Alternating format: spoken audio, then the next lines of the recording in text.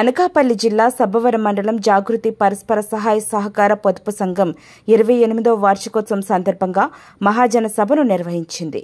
ఈ సభలో ముఖ్య అతిథిగా ప్రొఫెసర్ ముర్రు ముత్యాల నాయుడు పాల్గొన్నారు. ఈ కార్యక్రమంలో ఆయన రెండు వేల ఇరవై రెండు ఇరవై మూడు సంవత్సరం నివేదికను ఆవిష్కరించారు. ఈ కార్యక్రమంలో అధ్యక్షులు నాయుడు మేనేజింగ్ డైరెక్టర్ కందర్ప సుజాత పాలకవర్గ అధ్యక్షులు జాగృతి సిబ్బంది పాల్గొన్నారు. ఈ కార్యక్రమంలో అధ్యక్షులు మాట్లాడుతూ ఇరవై ఐదు కోట్లు పొదుపులు సేకరించగా సభ్యులకు ముప్పై ఐదు కోట్ల రుణాలు మంజూరు చేయడం జరిగిందని తెలిపారు. మౌక్తిక కృష్ణ సహోదరి ముత్యము ధరించేది ముత్యాల హారాన్ని ధరించేది శ్రీకృష్ణుడు. శ్రీకృష్ణుడి సహోదరి అమ్మవారు అమ్మవారు.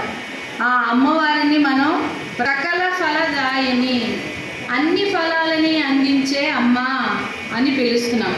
అన్ని ఫలాలు అంటే మన జాగృతిని అన్వయించుకుంటే మన రైతు సంఘాలన్నీ కూడా ఫల అనే పేరుతో మనం పెట్టుకోవడం జరిగింది. అమృత ఫల కృషి ఫల సంకల్ప ఫల ఇలా ప్రతి రైతు సంఘానికి ఒక ఫల అనే పేరుని మనం పెట్టడం వలన అమృత అప్పుడు ఒక పదహారు వందల మంది సభ్యులతో ప్రారంభపడి ఈ సంస్థ జాగృతి ఆ పేరులోనే ఉందండి. జాగృతి అంటే మీకు తెలుసు కదమ్మా అదే మేలుకొలుపు.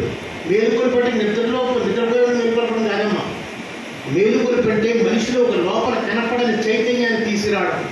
ఈ మధ్యనే మీరు కుమార అస్కాంత అందరిలో ఉంది కాబట్టే ఈరోజు ఇక్కడ కూర్చున్నారు. సభ్యులయ్యారు. ఈ సంస్థను అభివృద్ధి చెందుతున్నారు. అందుకనే ఒక్కటేనమ్మా ఈ చైతన్యానికి కొంత జ్ఞానం తోడవాలి ఈ రెండు ఇందా చెప్పాను అదే కుమారస్వామి అంటే స్కందుడు అంటే. ఆ చైతన్యానికి ఎప్పుడైతే జ్ఞానం తోడైందో తప్పకుండా ఏదైనా అభివృద్ధి చెందుతుంది చెందుతుంది. ఎందుకంటే ఈ మూలికలు ఎవరంటే